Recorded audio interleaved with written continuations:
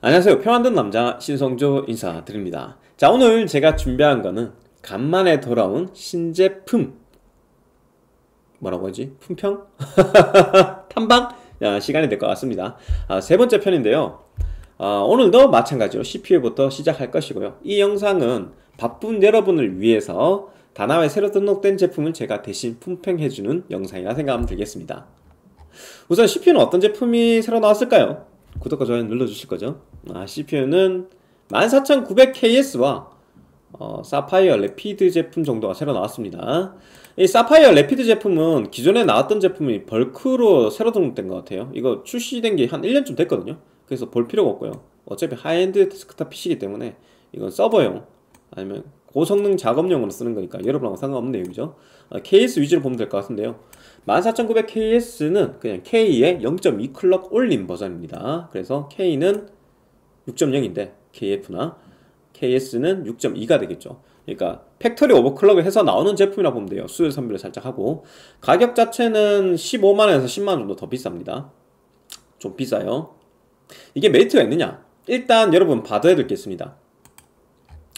지금 인텔 13, 14세대 i7, i9군에서 높은 전력 공급량과 높은 전압으로 인해 게임에서 안정성이 떨어진 문제가 생겼습니다. 그뿐만 아니라 지속적으로 높은 전압과 전력에 노출된 CPU들은 아예 영구적으로 고장나는 경우도 간혹 있습니다. 철권 8에 돌리면서 이 이슈가 급격히 퍼져나가기 시작했는데요. 철권 8은 여러분 무료로 테스트할 수 있는 버전이 있으니까 한번 여러분도 실행해 보시고요. 그렇게 실행했을 때 제대로 실행이 되지 않는다면 어, 지금 이슈가 터진 상태입니다. 그거 해결하겠다고 아수스가 가장 빠르게 바이오스 업데이트를 지원해 줬습니다. 어, 프로파일을 하나 올려줬는데 이 프로파일을 적용하면 몇몇 항목이 변경이 됩니다. 일단 boost clock이 조금 낮아지고요. 두 번째로는 전압 같은 거, 그 IO SA 전압 같은 게 조금 낮아지는 어, 그런 패치도 같이 이루어집니다. 그뿐만 아니라 전력 공급량도 좀 낮춰지는 패치도 같이 되게 되는데요. 그 전력 관리 기술이 조금 더 어, 어, 전력 관리를 낮게 설정하게 되겠죠. 뭐 그런 옵션들이 바뀌는 것 같아요. 딱 바뀌고 난 뒤에 권장 지금 전력 공급량을 적어놔요. power limit 1, power limit 2라고 합니다. power limit 1이 상시고 power limit 2는 짧은 시간 동안 load가 걸렸을 때 전력 공급량을 얘기하는 건데 권장이 253이라 그러죠. 근데 우리 아까 CPU 보니까 어떻게 돼 있습니까? 얘가 뭐 410까지도 전력 먹는다고 적혀 있거든요. 근데 이거 253은 낮추면 어떻게 됐어요? 성능이 떨어집니다. 원래 4만 1000점 정도 나옵니다. 근데 3만 5천, 3만 6천 점 사이 정도까지로 안착이 되죠. 큰 폭으로 떨어져요. 10%가 넘습니다. 대충 계산해도 한 12, 13%좀 되지 않나 싶은데 그 정도 떨어지면은 솔직한 말로 i7하고도 멀티 성능은 크게 차이가 나지 않는 겁니다. 여러분 i7 똑같은 전력 걸어놓고 돌려보시면 얼마 차이 안 날까요? 한 34,000? 이 정도 나올 것 같은데 근접하죠. 그래서 지금 시점에서 i9 살 이유가 없는 것 같아요. KS뿐만 아니라 그냥 전 i9을 살 필요가 없고 i7에 그냥 253까지 어, 전력 제한을 걸어놓고 쓰시는 게 좋지 않을까 싶어요. 그리고 아까 스금의 시차 지나가서 봤던 CEP 옵션 켜주고요. 그럼 기본 전력이 살짝 낮아지거든요. 인텔 그래서 안정성이 인텔이란 말이 좀 옛말이 되었다라는 그런 시점으로 보시는 유저분들도 꽤 많아졌습니다. 아 제가 보기엔 좀 안타깝네요. 다음번 세대는 hyper threading을 빼고 나온다니까 발열에 대해서 조금 한번 기대해 보겠습니다. 그래서 KS 제품이 나왔는데 지금 보면 리뷰도 없고 나왔다는 소문도 크게 퍼지지 않고 있죠. 3월달 출시됐습니다. 그래서 저도 이거 주문 들어오는 거 보면은 웬만하면 딴 거 쓰라고 설득하는 편입니다. 자, 그 밑에 5700 3D는 저번 시간에 봤던 제품이고 5500, 5600도 저번 시간에 본 제품인데 제가 5500, 5600을 손에 가지고 있어요. 이 GT를. 그러면서 확인한 부분이 있는데요. 이게 숫자적으로 봤을 때 5600G를 대체한 제품이잖아요. 5500 GT나 5600 GT가요. 근데 막상 벤치 돌려보면 성능이 어떻게 되냐. 얘가 제일 낮아요. 얘가 3등이고 얘가 2등이고 얘가 1등입니다. 근데 숫자 보면 얘가 5니까 이게 더 낮은 제품이 아닌가라고 착각할 수가 있거든요. 여러분한테 당당히 얘기해 드립니다. 얘가 성능이 조금 더 좋아요. 사실 클럭 조금 차이 빼고는 이 셋이 똑같은 제품이에요. 내장 그래픽 성능 차이는 없다고 보시면 되고 어, 똑같은 제품이고 지금 가격 잡았을 때 5600G하고 5500GT가 가격이 거의 똑같은 것 같아요. 지금 5500GT 15만 4천원인데 5600G도 비슷한 가격이거든요 맞죠? 15만 3천원요 요게 서서히 단종이 될 거라고 합니다. 단종되고 나면은 5500GT로 대체하시면 됩니다. 더 성능 낮은 제품 아니에요. 똑같거나 약간 더 높은 제품입니다. 걱정하지 마시고 이걸로 대체하시면 될 것 같아요. 그래서 CPU 신제품은 이렇게 여러분한테 다 알려드린 것 같아요. 예, 다음번 제품 보겠습니다. 원래 클럭이 똑같은데 이상하게 성능이 조금 높게 나오더라고요. 그 다음에 이제 쿨러 한번 볼게요. CPU 다음은 쿨러죠. 쿨러 신제품 순으로 눌러봤더니 어세신 4S라는 게 나왔습니다. 어세신 4가 기존에 있죠. 근데 4S는 뭔데요? 음 4S는 지금 자세히 보면은 이 앞에 팬이 하나 빠졌어요. 원래 120mm 팬 하나랑 140mm 팬 하나 이렇게 포함되어 있는 걸 기억하거든요. 그래서 팬이 빠지면서 세로 길이가 조금 줄어들었습니다. 지금 어쌔신 4가 어쌔신 3보다 성능이 구리거든요. 그래서 인기가 별로 없는데 거기서 팬 하나 뺐다. 얘가 과연 dual tower의 성능이 나올까요? 저는 좀 의문이 듭니다 아, 여튼 4S가 이렇게 나왔고 그 밑에는 이제 버텍스? 버텍스? 뭐 하여튼 프로스트 제품이 신제품이 나왔는데 이 프로스트 제품이 팬이 상당히 괜찮아요. 어디서 많이 보던 팬 디자인이죠. 녹투아랑 상당히 비슷하게 생긴 팬 디자인인데 자세히 보시면은 이 팬에 요 중간중간에 뭐 묻어있는 게 보여요. 이 묻어있는 거 닦아내면 안 됩니다. 그게 뭔 얘기냐? 일단 이 제품은 성능이 좋아 보입니다. 팬 스펙이 풍량이 90에 거의 80에 더 달합니다. dual fan dual tower 어 괜찮아 보이는데 얘가 지금 9만원 하는데 9만원 하는 값어치가 있냐가 중요하잖아요. 아까 보이는 이 부분은 그 팬의 균형을 맞추기 위해서 넣어놓는 밸러스트라고 보면 됩니다. 그러니까 밸런스를 잡기 넣는 추라고 보시면 돼요. 그거 왜 넣는데요? 어 이게 공산품 만들다 보면 blade가 아무리 일정하다 해도 진동이 생깁니다. 분명히 무게가 쏠리는 쪽이 있기 때문에 회전을 하면은 얘가 진동이 생겨요 그 진동이 보통 이제 쿨러 달고 나면은 보드에까지 퍼져요 이렇게 쿨러가 달려있다 근데 저 기본적으로 진동이 생기면 이 진동은 뒤에 있는 보드에까지 전달이 되면서 얘가 움직일 때 보드도 같이 진동을 일으키고 보드는 어디에 장착되어 있습니까? 케이스 장착되어 있는데 케이스 강판이 두껍지 않으면 그 진동음이 더 증폭이 돼서 이런 소리가 듭니다 웅웅웅웅웅웅웅 이런 소리 나요 아주 듣기 싫거든요 그걸 줄이기 위해서 밸런스를 맞춘 거죠 자동차 휠도 여러분 밸런스 추라는 걸 붙입니다 똑같은 거예요. 이 밸런스를 맞추기 위해서 넣어놓은 겁니다. 어, 분명히 이거는 큰 장점이라 볼 수 있습니다. RC1800 같은 거 그런 제품들 제가 자주 추천하지만 뭐 AG620 이런 것들 걔네들 밸런스 안 맞아서 이 진동음이 나는 게 거슬린다는 그 클레임이 가끔씩 오거든요. 이 제품은 그게 별로 없겠죠. 근데다가 이 8mm heat pipe를 중앙에 딱 박고 중앙이 중요하니까 6mm heat pipe 6개를 단 7개. 어, 많은 heat pipe 썼어요. 거기에 뭐 코어가 한쪽에 치우쳐져 있는 라이젠의 그 성능 라이젠 7000의 발열 성능도 고려해서 설계를 했다고 합니다. 이런 거 다 생각했을 때 얘는 분명히 최신 설계가 적용이 돼 있을 거고 balance weight라고 하죠 이게. 이거 떼내는 거 아닙니다 balance weight 추, 추라고 해야 되나? 하여튼 충전재 그런 것도 사용하고. 근데다가 기본 팬 풍량 풍압이 좋다 보니 소음은 좀 있을지언정 이 제품은 분명히 9만원 정도의 값어치는 하지 않을까라는 생각을 살포시 하면서 신제품 쿨러는 여기서 마무리 짓겠습니다. 나머지는 뭐 저번 시간에도 봤던 것 같고 아틱 뭐 특별한 거 없죠. single tower. 이거는 flow 방식인데 여러분 대부분 안 쓸 겁니다 매우 좁은 LP 타입의 케이스만 쓰는 거고 cooling이 떨어지거든요 가격 대비. 그래서 중요한 제품 두 개 보고 넘어갔다 생각하면 되겠네요. 그 다음 메인보드입니다. 메인보드 신상품 수를 누르니까 제가 알기로는 2월달에 출시된 제품이 신상품으로 등록되어 있더라고요. 제가 이거는 아마 그건 것 같아요. 합본팩. 광고를 위해서 합본팩을 내놓은 겁니다. 이런 것들은 보통 가격적인 메리트를 좀 가지고 나올 거예요. 제품을 봤는데 BTF 보드입니다. 심지어 어, 그래픽 카드도 BTF 그래픽 카드를 합니다 뭐가 다른데요? 음, BTF 보드 앞에 보시면은 어, 뭐 없죠? 뭐 없습니다. 뭐가 없는데요? 여러분 선 연결할 부분이 없습니다. 이 자세히 보시면은 뒷면에 다 있어요. 뒷면에 CPU 선 연결하고 24핀 메인보드 선 연결하고 그 그래픽 카드 핀 이렇게 연결이 되어 있어요. 여기에 12 플러스 4핀이고 밑에 거는 8핀이죠. 아니? 그럼 그래픽카드에도 선이 없다는 얘기예요. 아마 그럴 겁니다. 그래픽카드 선이 없을 거예요. 이거는 BTF 글카, BTF 보드를 합본한 합본팩인 겁니다. 저게 어떤 장점이 있는데요.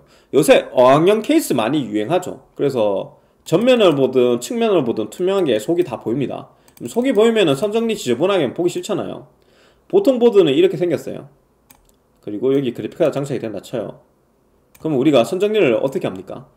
이쪽에 보통 CPU 8핀이 들어가고 그리고 여기 보드용 24핀이 이렇게 두껍게 들어갑니다. 맞죠? 근데 그래픽카드에 12 플러스 4핀 깔끔하게 들어간다 쳐도 이렇게 들어가고 그게 끝이 아니죠. 여기에 뭐 펜 헤더를 위한 핀이 들어가거나 여기 전원을 위한 혹은 사타를 위한 또는 사운드를 위한 선들이 이렇게 주렁주렁 달리게 되어 있습니다. 이렇게 다 달리면은 앞에 0 보기 싫겠죠. 이걸 다 뒤로 돌리면은 하나도 없어지는 겁니다. 깔끔하게. 그냥 싹 다 지워지고 이 상태가 되는 거죠. 정말 깔끔하겠죠. 물론 뒤에야 개판이 되겠고 어, 이 BTF 보드를 쓰기 위해서는 BTF 케이스 전용 케이스가 있습니다. 그걸 사용해야 된다는 단점이 있긴 하지만 분명히 어느 정도 needs가 있을 거예요. 저런 이제 깔끔한 세팅을 원하시는 분들 그런 분들 디자인적으로 PC를 쓰시는 분들이 있을 거란 말이야. 인테리어용으로 그런 분들의 needs를 충족시키기 위해서 나온 제품이라고 보면 됩니다. 아직까지 BTF는 그 아수스 제품밖에 나오지 않았어요. 그래서 아시는 분도 좀 적긴 한데 그걸 홍보를 하기 위해서 요번에 제가 보기에는 홍보를 하기 위해서 내놨겠죠. 히어로보드랑 터프보드. 터프는 또 화이트라서 보기 좋네요. 그래픽 카드도 화이트네. 예, 세팅하라고 내놓은 것 같습니다. 자, 그 밑에 B50M 프로 RS는 기존에 있던 제품 랜카드 추가 패키지고 무시하면 될 것 같습니다. 어, X570 팬텀 게이밍 4 이게 예전에도 출시했던 제품인 것 같은데 다시 들고 온 것 같아요. 요거 은근히 메리트 있어요. 일단 1기가 랜이라는 건 조금 단점이긴 한데 사운드 칩이 ALC1200이라서 제일 하급 897 쓰지 않았습니다. 근데다가 보시면 램 슬롯 4개고 어, 방열판 큰 거 달려있고 그리고 full size 보드이기 때문에 그래픽카드 두꺼운 거 써도 간섭이 없겠죠. 그런 거 생각했을 때 요 보드는 적당히 가성비로 쓸만한 제품이 아닐까? 가격 조금만 더 내려줬으면 좋겠다. 한 13만원 중반 정도 내려오면은 추천할 만한 보드가 되지 않을까라는 생각을 해봅니다. 아직도 5000 시리즈 쓰신 분들 많으니까 그런 분들이 한번 고려해 볼만 하겠죠. 그 밑에 거 이제 서버급 보드랑 무시하면 될 것 같고 그리고 D3HP라는 게 하나 추가로 나왔는데 이게 그거랑 똑같이 생겼다고 MK랑 똑같이 생겼는데 방열판 살짝 위로 치우쳐져 있어요. 자세히 보니까 전원부가 한 개가 줄어들었습니다. 그리고 맨 밑에 거는 CPU 코어에 전력을 공급하는 부분이 아니까 살짝 방열판 위로 치우쳐서 다는 게 발열 해소에 좀 더 도움이 된다고 생각했나 봅니다. 전원부 쪽에. 제가 보기에는 이렇게 치우치는 거는 이제 디자인적으로 보기 싫고 전체를 다 덮지 못하니까 방열판 사이즈 키워주는 게 최고로 생각했는데 싸게 만들려고 아마 기존 거 방열판을 재활용하다 보니까 이런 식으로 달린 것 같고요. 레이아웃은 제가 많이 추천하는 B650MK랑 흡사합니다. 근데 여기 보면 USB 걔는 2.0 한 개인데 두 개가 들어가 있죠. 그 정도가 다른 것 같고 전원부는 마이너스 한 개가 된 것 같고 나머지 부분은 거의 흡사해 보입니다. 아 자세히 보니까 USB 두 개 부족한 것 같은데요? MK보다? 여튼 이거 내놓은 의도를 한번 고민을 해봤는데 MK보다 한 만 원 정도 싸게 내놓고 에즈락하고 저가형 시장을 싸워보겠다라는 느낌 아닐까요? 근데 저는 이제 만원 정도 차이면 그냥 MK 쓸 것 같긴 해요. 신제품이 살짝 보이길래 품평 해드렸고 나중에 나오게 되면 조금 더 자세하게 얘기해 드릴게요. 아직 가격 같은 게 등록이 안 돼 있으니까요. 보드는 다 본 것 같아요 자, 그 다음 뭐 볼까요? 그래픽카드 한번 볼게요. 그래픽카드 4080 슈퍼. 나온 좀 됐어요. 맞죠? 근데 80은 종류가 다양했는데 80 슈퍼는 좀 종류가 적었잖아요. 그러니까 덜 출시가 되었다는 얘기였어요. 이게 다 출시된 것 같아요. 뭐 특별한 거 보이는 건 없고 SG 화이트 나왔다. 어, 화이트의 선택지가 하나 늘었다. 참고로 SG가 요새는 요새는 상위 라인업이라고 합니다. 뭐 EX나 ST보다 상위 라인업. 예전에는 이게 high 라인업이었거든요. 스틱스 화이트 등록됐고 어? 녹투아 등록됐네요. 녹투아가 여러분 two fan이라서 cooling 구려 보이죠? 내가 신기한 걸 보여줄게요. 얘가 지금 몇 슬롯입니까? 이게 2슬롯이죠. 근데 2슬롯이 어떻게 좁아 보이는 느낌이 들지 않습니까? 얘는 4슬롯입니다. 두께가 미쳤어요. 예전에 제가 녹투아 한번 들고 와서 보여드린 적이 있는데 두께감이 어무시하고 이 펜이 어지간한 펜보다 큽니다. 근데다가 진짜 녹투화 펜을 갖다 꽂은 겁니다. 여기다가 녹투화랑 콜라보해서 그래서 2펜인데 불구하고 3펜보다 조용한 소음과 3펜을 능가하거나 3펜과 흡사한 cooling을 보여줍니다. 음, 가격은 좀 자비가 없네요. 가격은 노답인데 분명히 needs가 있을 거라 생각해요. 어떤 needs가요? 저소음으로 짜시겠다고 하시는 분. 고성능 저소음으로 짜겠다 하시는 분들한테는 와 여기에다가 디파인 조합에가 쓰면은 진짜 조용하겠다. 그런 분들한테는 메리트가 있을 것 같은데 대부분 제품이 160, 180 사이에 있으니까 80 슈퍼가 솔직히 크게 메리트가 있다라고 보긴 좀 어렵죠. 어, 특정 유저한테만 의미가 있겠습니다. 그 빼고는 뭐 신제품을 보이는 거는 거의 없네요. 넘어가겠습니다. 다음은 이제 SSD 한번 보겠습니다. SSD 신상품 눌러봤는데 뭐 딱히 신상품 메리트 있어 보이는 거 없습니다. 그래도 여러분 가끔 물어보니까 하는 말이지만 지금 CS2230 해외 구매요. 직구란 얘기입니다. 요거는 어떤 제품이냐면 음 제가 알기로 막시오 컨트롤러 썼어요. 그거 중국산 컨트롤러인데 중국산 컨트롤러 뭐 크게 두 가지 정도가 있거든요. 이노그릿하고 막시오를 많이 써요. 근데 당연히 품질이 좋지 않습니다. 그냥 제끼면 될 것 같고요. 240은 조금 다른 거 쓰긴 하는데 PNY가 제일 많이 쓰, 는게 이제 파이슨 컨트롤러거든요. 파이슨 컨트롤러긴 한데 이거는 뭔지 내가 검색은 안 해봤어. 근데 속도만 봐도 별 메리트가 없어 보이죠. 가격 대비. 넘어가고. 프레데터도 싼 것 같아서 종종 물어보시던데 별로 안 좋습니다. 왜 별로 안 좋다고 하냐면은 어, 프레데터 같은 경우에는 이노그릿 컨트롤러 쓰는데 이게 네탁에 쓰는 컨트롤러고 네탁이 지금 펌웨어 업데이트하고 난 뒤부터는 문제가 덜 생기긴 하는데요. 문제가 너무 많이 생겨서 거의 절반이 AS 받았던 제품이에요. 그리고 사실 그 펌웨어 업데이트하고 새로 AS 받은 제품도 뭐 종종 불량이 난다고 합니다. 불량률 확인하기 줄긴 했지만 그래서 이노그릿 네트하고 똑같은 거 썼다고? 안 쓰고 싶은데 어, 대체적으로 여러분 이런 이름은 잘 모르는 회사들 거 있잖아요 뭐 썼냐고 보면은 셋 중에 하나입니다 좀 저렴하다 싶으면 막시오, 이노그릿 아니면 파이슨 하위 컨트롤러 근데 셋 다 어느 정도 불량률이 좀 있는 특징을 가지고 있기 때문에 여러분 맨날 저가형 SSD 들고 와가지고 괜찮나요? 물어보지 마세요 괜찮을 수가 없어요 싸고 좋은 제품 없어요 비싸고 안 좋은 제품 있는데 그것만 피하, 피해야 되는 거죠 SSD 비교편 최근에 올려드렸으니까 길게 설명 안 하고 넘어갈게요. 그 다음은 데이븐 아쿠아 케이스가 새로 나왔네요. M900하고 A900에 나왔는데 A900은 그냥 봐도 좀 길어 보이는 거 보니까 ATX겠네요. 아, 맞네요. ATX도 있고 M900은 M8X입니다. 눌러서 봤더니 음, 개선된 점이 하나 보였습니다. 원래 상단에 3열 순행이 잘 장착이 안 되는데 3열 순행 장착 호환되게 해놓고 그리고 여기 옆에 펜을 달면은 보드에 간섭이 생겼었는데 앞뒤 길을 좀 넓혀준 거죠. 그러니까 여러분 지금 보는 시선에서 좌우가 길어진 거죠.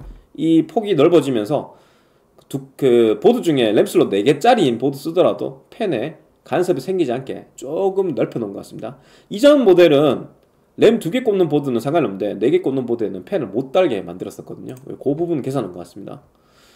가격이 얼마일지 모르겠는데 또 이거 가성비라고 어, 물어보신 분도 좀 생기겠네 데이븐 아쿠아 가성비 아닌가요? 저는 기존 데, 아쿠아는 별로 안 좋아했어요 어지간 보드 호환이 안 됐기 때문에 측면 팬 다는 게 펜텍 케이스 펜텍 케이스가 은근히 가성비긴 해요 가격 대비 품질 좀 좋은 제품들이에요. 강판 두께라든지 아니면 조립하기 편의성, 옵션 이런 게 좋은 편인데 다만 펜텍 케이스들이 QC를 좀 안 하는 편이라서 도색 분량이 좀 있는 편입니다. 요번에 전면 디자인을 살짝 살짝 바꾼 느낌으로 거의 비슷한 형태의 케이스를 몇 종을 내놨더라고요. 뭐 자세히 보지는 않겠습니다만 무난하게 생겼죠. 평범한 middle tower형 케이스 아닌가 싶네요 디자인적으로 취향에 맞으신 분들은 충분히 사도 괜찮을 겁니다 지금까지 펜텍 케이스가 마감 못하는 건 못 봤어요 특히 이런 뒷면 보면은 구멍이 많이 안 뚫려있죠 그리고 절곡을 아주 이쁘게 넣어서 좀 튼튼합니다. 근데 케이블 타이 같은 거 대신 이제 벨크로 타이를 기본 제공하는 경우도 많고 아주 뭐 표준의 디자인이 돼 있죠.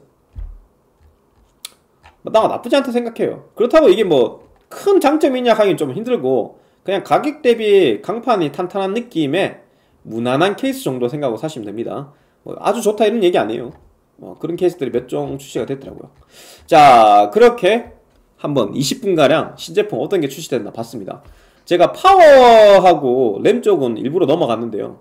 파워는 사실 신제품 나왔다고 사면 안 되는 거거든요. 왜 신제품을 안 보냐면은 파워는 안정성이 가장 중요한데 신제품은 안정성을 좀 확인하기 어렵습니다. 나온 지 좀 돼야지 알 수 있죠. 물론 이 마이크로닉스 풀체인지 같은 경우에는 기존 제품을 그냥 ATX 3.0 규격만 맞춰서 내놓은 설계가 크게 변경되지 않은 제품이라서 안정성에 차이가 없겠지만 이런 기존 제품 말고 아예 새로 나온 제품도 있잖아요. 이런 것들. 심지어 그에다 저렴한 것들. 이런 것들은 하, 써봐야 알아요. 써봐야 아니까 파워는 일부, 일부러 신제품 품평을 안 했고요. 메모리 같은 경우는 알잖아요. 여러분 하이닉스 다이를 사용했으면 대부분 크게 차이가 나지 않습니다. 신제품 눌러보면은 마이크론 다이냐, 삼성 다이냐, 하이닉스 다이냐 이런 것들 차이만 있기 때문에 굳이 볼 필요가 없는 것 같아요. 그래서 두 가지는 생략했다 보시면 될 거예요. 어, 다음번에도 또 신제품 한 두세 종 재밌는 거 나오면은 여러분한테 자세히 설명드릴 거예요. 오늘 그 이슈도 같이 설명드렸습니다. 인텔 CPU 이슈. 그래서 충분히 도움이 됐, 됐으리라 생각하면서 구독과 좋아요 한번 부탁드리고 오늘 영상 마무리 짓겠습니다. 여러분, 바이바이.